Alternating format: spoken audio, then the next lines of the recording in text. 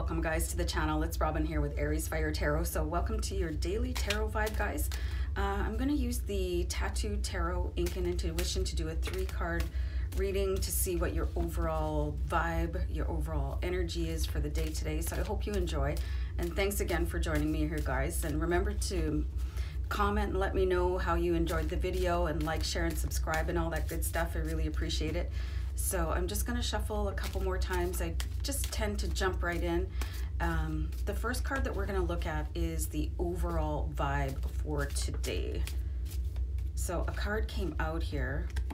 So we have the Four of Coins. So you could be feeling maybe a tad bit anxious or feeling overwhelmed or just, you know, um, I don't want to face the day, maybe. Um, I don't know how many of you are in my age range or whatever, but um, there's a song, it's actually called I Don't Want to Face the Day, and I think the band was Angel City, and this was years ago, and it was like actually the first concert I ever saw when I was 16. So if you want to check that song out, um, go for it because sometimes you just need. I don't know, you just need a little bit of a kick to get your day started. And it looks like you could be a little bit worried about who you might run into, or maybe you're late turning in a project, or maybe you just want to take a sick day. I don't know. So let's see what you you should focus on today.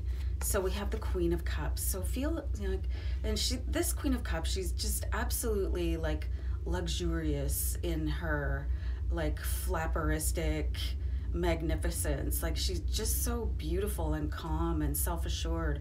So focus on your inner magnificence, you guys. I mean, you have this beautiful energy here and she's almost like flirting with the day you know she's like oh you know i'll get to you when i'm ready you know what i mean so you can take control back over the way that you feel about the day just by sort of tapping into your inner god or goddess right so and just feeling and i keep on getting the word magnificent so tap into that energy it is available to you so let's see what to leave for another day guys this sort of hectic energy with the chariot, it doesn't belong to you. This energy that you woke up with, or um, it's like you inherited it from somebody else.